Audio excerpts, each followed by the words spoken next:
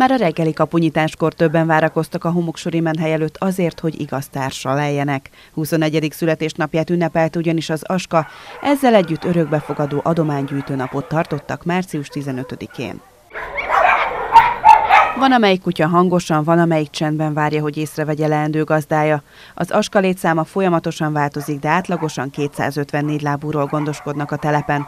Ezek a kutyák vagy hatósági eljárás során kerülnek az askához, vagy az utcán fogják be őket. Általában igen rossz fizikai és lelki állapotban.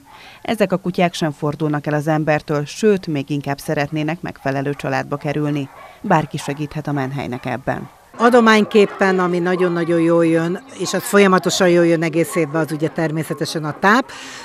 Most kiemelten fontos a kölyöktáp, hiszen jelenleg is 40 kölykünk van, és még ezután fog indulni a, az igazi kölyök szezon. Az esemény felülmúlta az elképzeléseket 15 kutyus talál gazdára, egy négy lábú pedig hazamehetett eredeti gazdiával.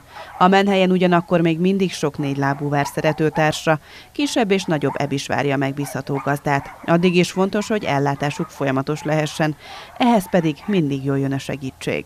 A hét minden napján megtalálhatóak vagyunk, illetve a menhely előtt van egy adománygyűjtőláda, és abba bármikor be lehet rakni a nekünk szánt adományokat.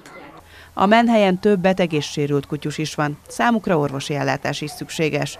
Ezeknek a költsége nagyon magas, éppen ezért ehhez is kér támogatást az aska.